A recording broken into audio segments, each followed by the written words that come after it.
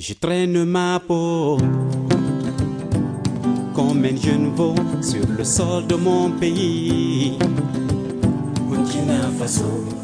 À la base, c'est une histoire d'amitié qu'il y a Bidin Johari et moi, puisque ça fait, euh, ça fait cinq ans qu'on est amis. Et donc, on a mis en place, euh, au-delà de notre, amitié, des projets humanitaires, des projets de solidarité. Donc, on a commencé au tout début à, à donner des fournitures à des, à des écoles, voilà, des fournitures scolaires. Ensuite, on a enregistré un album ensemble qui s'appelait euh, Toan au pays des hommes intègres, qui a permis de reconstruire une école. Voilà, l'école que vous voyez d'ailleurs en photo. On ne voulait pas s'arrêter là au niveau de nos projets et on a décidé de monter ce centre, c'est-à-dire un centre culturel. euh, qui est à la fois donc euh, un endroit où il peut y avoir des concerts, des représentations de slam, de théâtre, de musique, et aussi un centre qui, qui permet aux jeunes euh, 16 à 25 ans qui ont, qui ont pour passion l'art de, se développer, de devenir professionnels. On a axé euh, ce centre sur quatre disciplines qui sont la musique, l'audiovisuel, le théâtre et la danse.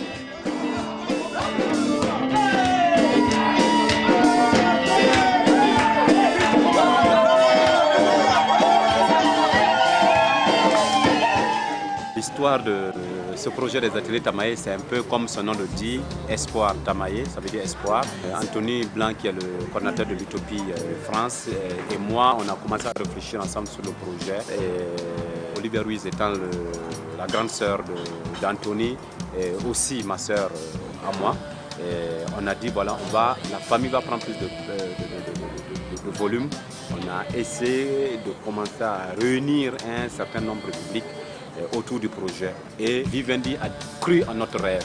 Parce que notre rêve n'était pas un rêve individuel, c'était un rêve à plusieurs. L'objectif, c'est vraiment de donner la chance à des jeunes burkinabés de faire euh, ce qu'ils aiment, de pouvoir euh, vraiment s'exprimer par leur talent. Do, do, do, do.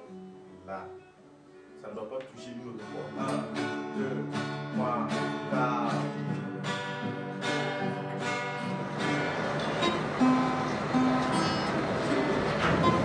On a fait le casting, on a retenu quelques-uns. Donc j'ai eu la chance d'être dedans. Ça m'a apporté beaucoup de choses parce que je pense que ça a été ma première fois dans le domaine artistique, musical, que d'a- d'avoir vraiment une formation de qualité. Et à partir de là aussi, j'ai rencontré pas mal de gens dans le domaine artistique que j'ai eu l'occasion de travailler avec. Donc euh, vraiment franchement, euh, je suis très content. euh, d'avoir participé à cette formation. Je remercie vraiment tous ceux qui ont travaillé pour mettre ça en œuvre. Je pense que c'est quelque chose de grand, c'est quelque chose de bien qu'il faut soutenir.